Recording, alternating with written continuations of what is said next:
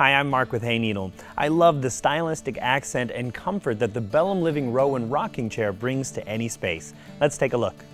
This contemporary chair's base and legs are made from a sturdy birch wood in a light walnut finish.